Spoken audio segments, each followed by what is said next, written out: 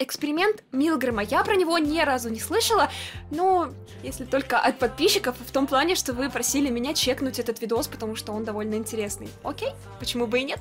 Let's go.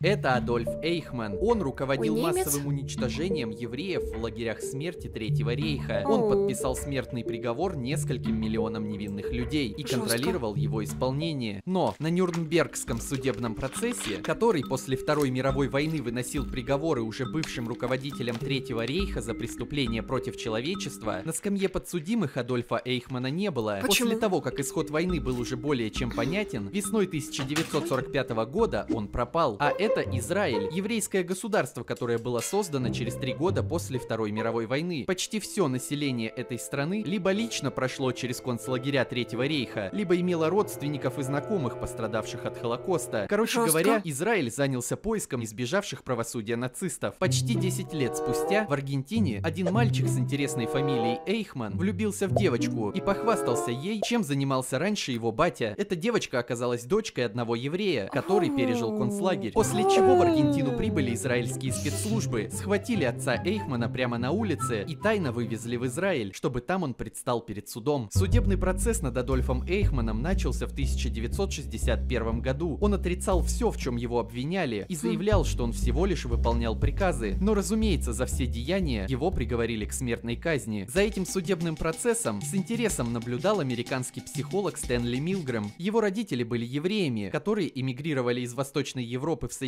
Штаты еще во время Первой мировой войны. Большое Мгм. количество оставшихся в Европе родственников позднее пострадали от Холокоста, и этот факт способствовал развитию у Милгрэма научного интереса к этой теме. Адольф Эйхман на суде не создавал впечатления психопата. Он выглядел и говорил как самый обычный человек. Мне кажется, и у видно, Милгрэма возник вопрос, как так вышло, что немецкий народ принимал участие в уничтожении миллионов невинных людей в лагерях смерти. В поисках ответа Милгрэм провел серию экспериментов. Да, экспериментов было очень много, но чтобы, так сказать, расставить декорации, мы для начала возьмем тот, который был задокументирован на пленку. В эксперименте принимали участие Интересно. трое, исследователь и двое добровольцев. Они тянули жребий, по результату которого одного уводили в другую комнату и привязывали к креслу с электродами, а второго усаживали перед внушительным прибором. Испытуемым сообщили, что в эксперименте проверяется влияние боли на память. Итак, мне нужен новый испытуемый. Старый отказался от участия в силу некоторых причин. Отказался. А можно я? Да, Здрасте. конечно. В общем, испытуемым говорили, что в эксперименте проверяется влияние боли на память. Тот, кто сидел за прибором, зачитывал вслух пары слов. Грустная девочка, приятный день, толстая шея и тому подобное. А тот, кто сидел в другой комнате за стеной, должен был их Везунчик. запоминать. Затем происходило что-то такое. Грустная.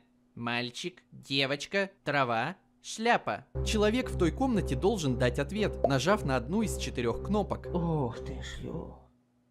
Правильно. Но если человек в той комнате давал неправильный ответ, он получал удар током. С каждым неправильным Жесть. ответом напряжение увеличивалось. И вы спросите, а в чем прикол? А Да. в том, что исследовалось не влияние боли на память, а то, насколько далеко под влиянием авторитета исследователя сможет зайти тот, кто сидит за прибором. Ведь в соседней Мгм. комнате находится всего Интересно. лишь актер, который делает вид, что получает удары током. Он будет кричать, требовать прекратить эксперимент, жаловаться на самочувствие, а в какой-то момент вообще перестанет подавать признаки жизни. А Очень исследователь интересно. Тем временем будет находиться рядом с настоящим испытуемым и говорить ему, что все хорошо, вы должны продолжать, и всю ответственность я беру на себя. Да Ого, очень интересно. давайте вот по этому листку теперь. Эм, ладно. Загадка от Джака Фреско. Было два козла. Сколько? Чего сколько? Что? Что нажимать-то вообще?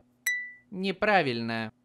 Э, Мудреныч, ты говорил, что по-настоящему бить не будет. Продолжайте. Только давайте сразу на 300 вольт переключимся. Вы уверены? Эксперимент требует, чтобы вы продолжали. Ай, вилкой в глаз или в жопу. А когда актер переставал отвечать на вопросы и даже вообще издавать какие-либо звуки, исследователь говорил испытуемому, что это тоже нужно трактовать как неправильный ответ и продолжать эксперимент. Изначально. Стэнли Милгрэм выдвинул предположение, что немецкий народ просто сам по себе такой злой, агрессивный и готов выполнять Слушайте, я, по-моему, по-моему, про это слышала, но не знала, как это называется. Ладно, боеприказы. интересно. Вообще, Милгрэм, собственно, даже хотел ехать в Германию и проводить эксперимент там, но все же решил сначала обкатать всю задумку на американцах. Только вот после этого стало понятно, что ехать никуда и не нужно. До эксперимента предполагалось, что до 450 вольт дойдут один или два человека из Но? 100. Но на деле до этой отметки дошли две трети всех испытуемых. Это В это довольно тяжело поверить. У критиков появилась куча вопросов. Может быть, испытуемые просто не понимали, что значит для организма такое напряжение. Они чувствовали и поэтому доводили до ударов 450 вольт. Может быть, выборка была искажена тем, что на участие в эксперименте соглашались в основном люди с садистскими наклонностями, а те, кто таких наклонностей не имел, по большей части сразу отказывались от участия и не попали в итоговую статистику. Возможно. Может быть, испытуемые подсознательно были спокойны, потому что все это проходило в Ельском университете, который как бы не славится истязательством. Эти и многие другие вопросы возникли сразу после проведения эксперимента, и для нахождения ответов эксперимент видоизменялся и повторялся. Таким образом, выяснилось, что если за пульт посадить женщин, то результат не меняется. Если актер начинает кричать, что у него больное сердце и требует выпустить, результат также не меняется. Правда? Собственно, этот вариант эксперимента с якобы больным сердцем как раз и был снят на кинопленку. Испытуемые проходили специальный тест, который показывал, что эти люди, самые обычные, и вовсе не являются садистами. Более того, во время эксперимента они явно протестовали, очень сильно нервничали и постоянно оборачивались к исследователю. Они просили остановить это безумие, но когда исследователь говорил, что все хорошо и нужно просто продолжать, они, испытывая моральные мучения, продолжали бить другого человека током. Разумеется, Интересно, почему никто не решался просто встать и уйти? Потом людям объясняли суть эксперимента и брали у них интервью. Этот эксперимент провели в самых разных странах по всей планете, и результаты оказались примерно одинаковыми. Из всего этого Стэнли Милгрэм сделал вывод, что большое число людей не способно противостоять авторитетному лицу. Милгрэм стал жутко популярным, а его книга об этом эксперименте была бестселлером. Артур, чуешь, чем пахнет? На самом деле все было не так гладко, как описывал автор. Многие испытуемые в процессе эксперимента догадались, что все происходящее это постановка.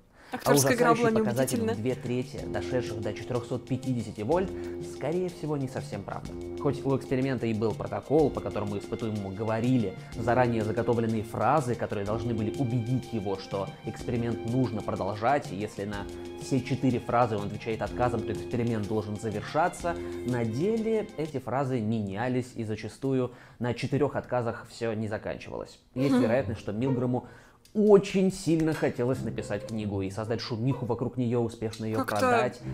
Подкрутить для этого данные и вынести приговор человечеству, что в каждом из нас живет садист, выглядит не очень сложной задачей, когда цель такая.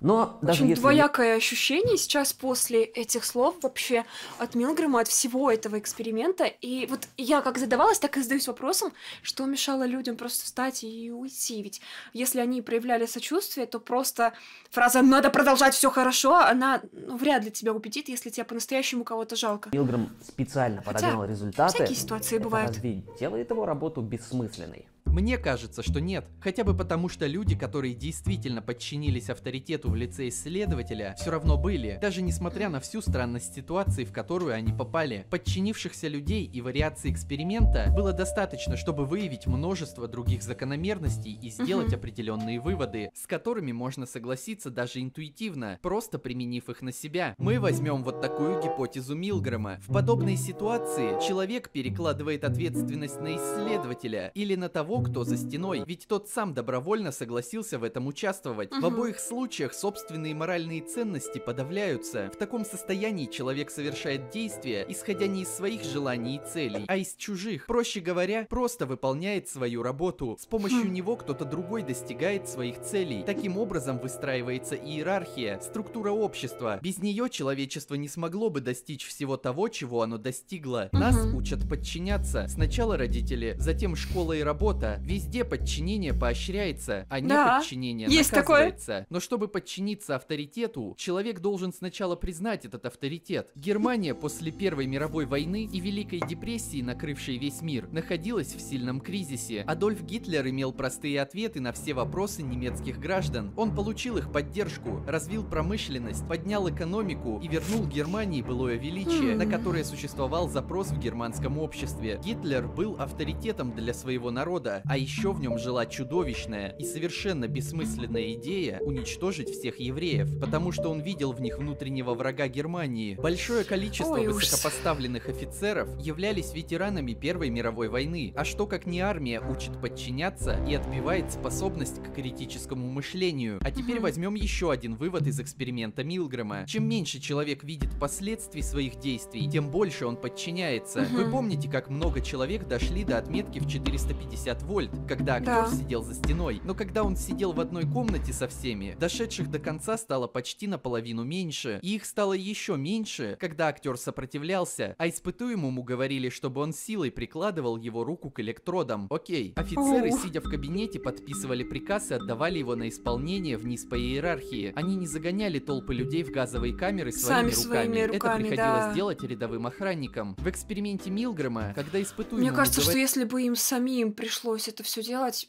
возможно, столько жестокости бы не произошло.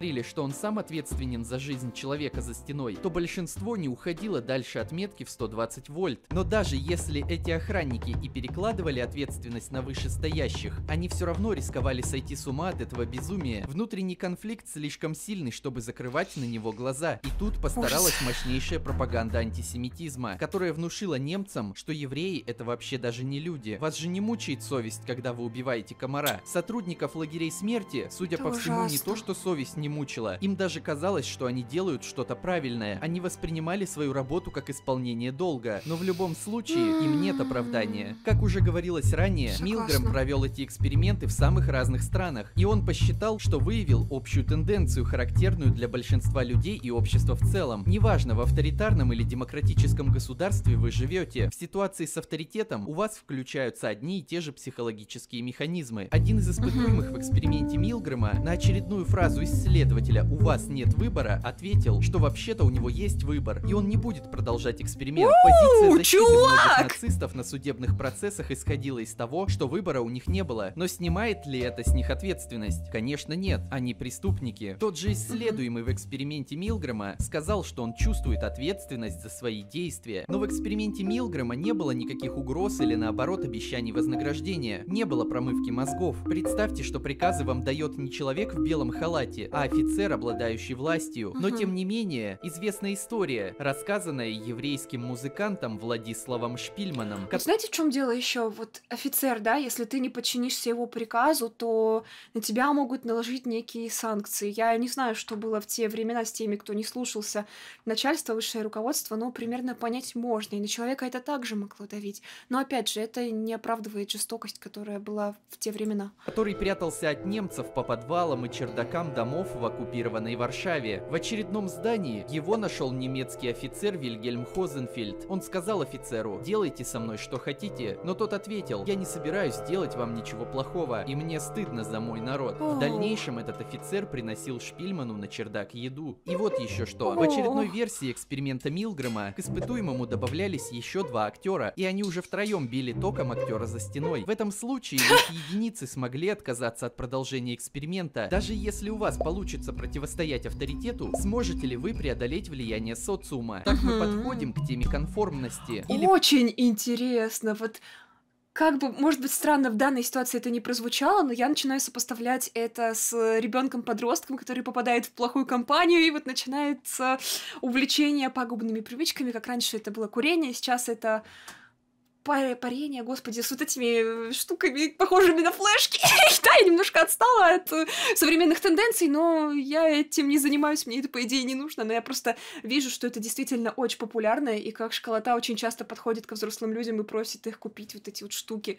И проще говоря, стадного инстинкта, как-то обидно звучит, который в совокупности с так и групповым подкреплением, пропагандой и склонностью подчиняться авторитету дали такой мощный эффект в гитлеровской Германии. Есть один очень интересный философский вопрос, который неизбежно встает, когда начинаешь анализировать такие эксперименты. Если к неким поступкам нас подталкивают, помимо обстоятельств, еще и какие-то вещи, которые заложены в нашей природе, то в полной ли мере мы ответственны за этот поступок?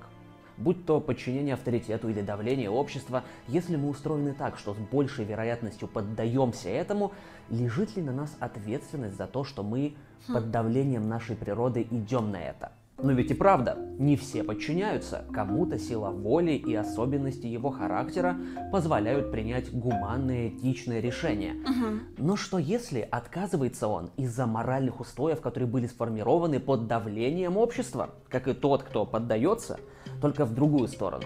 Просто ему повезло, что в его случае этот же самый порочный природный механизм подтолкнул его в правильном направлении. Угу. Конечно, наказывать нужно, когда нарушен закон. Но ведь это не закон природы, не фундаментальное физическое постоянное. Он не существует как нечто само собой разумеющееся. Его пишут люди со своими взглядами и со своими убеждениями. Угу. И вот уже некоторые законы справедливо могут показаться нам даже и негуманными. Не, ну по идее он реально прав. Э, По факту то, каким человек будет, какие у него будут взгляды на жизнь, на мир, зависит от того, в каком окружении он находится с самого раннего детства. Как вот знаете, говорят, что такое хорошо, а что такое плохо, и какому-то человеку эти понятия могут спутать настолько, что он будет считать себя хорошим человеком, делая не самые лучшие дела и поступки. Будет интересно посмотреть на то, как эти эксперименты будут сказываться на правовом дискурсе в будущем. Я думаю, это неизбежно. Чем Мгм. больше мы узнаем о природе человека, о его слабостях, тем сильнее сомневаемся в общепринятых этических моментах. На моем канале вышло видео, где я рассказываю о другом похожем эксперименте, где испытуемые школьники не по своей воле стали частью радикального движения, и о том, какие выводы мы могли бы из этого извлечь. Блин, интересно. Артур, большое спасибо за мысли и за участие в ролике. Кстати, в ролике Классный Артура коллаб. я тоже поучаствовал. Ссылку на него вы найдете в описании. А мы вернемся к Стэнли Милгрэму. Результат его эксперимента, вывод о том, что больше половины людей готовы убивать других по приказу сверху, кажется нереальным. И поэтому много раз не без оснований подвергался критике. В это тяжело поверить. Так же, как тяжело поверить во множество других фокусов психологии человека. Но Мгм. есть и хорошая новость. Почти у всех людей есть желание быть частью социума и разделять его мнение. И этот самый социум может как создать авторитет, так и разрушить его. Когда Мгм. два актера отказывались подчиняться исследователю, то и 90% реальных испытуемых следовали их примеру. Спасибо за просмотр, а также за лайк. Это очень классный вывод в самом конце, означающий то, что если в целом наше общество будет хотя бы стремиться к чему-то светлому, доброму и справедливому, то отдельные люди, личности, которые находятся на некой стадии выбора, как поступить так, а не иначе, они будут приближаться к более лучшему, более доброму поступку, нежели могли поступить там как-либо плохо, например, с кем-либо или в отношении кого-либо. Очень интересный видеоролик, и мне даже понравилось, что здесь была поднята тема конформности. И я обожаю вообще само по себе это понятие, и обожаю также понятие нонконформизм, которое полностью характеризует меня как человека. Я иногда ненавижу в себе это качество, но если конформность — это чувство, когда ты следуешь чему-то примеру, например, допустим, там какая-то компания подросток, я уже про это говорила, а, они курят, и он начинает курить, то у меня почему-то всегда работало все наоборот. Мне хотелось быть некой такой вот особенной, не такой, как все. Это настолько пафосно, кринжово звучит, но такое качество у меня всегда присутствовало. И когда я поступила в универ, у меня, получается, девочки в группе, да, там были только девчонки, курили, и мне сказали, что, ну, не удивляйся, если к выпуску ты тоже начнешь. Как бы нет, дратути, не курю и не хочу курить, мне это не интересно. И это очень классная тема. Я не могу сказать, что нон-конформизм это хорошо. Нет, в некоторых случаях ты сам хочешь что-то сделать, но если другие люди тебе говорят это делать, ты отказываешься от своего же решения, чтобы просто им не угождать. Это довольно противное качество, и мне кажется, что просто нужно искать некий баланс и в первую очередь прислушиваться к самому себе, понимать, что ты сам несешь за себя ответственность, неважно сколько тебе там лет. Ребенку, конечно, это будет сложнее понять, чем взрослому, но все же.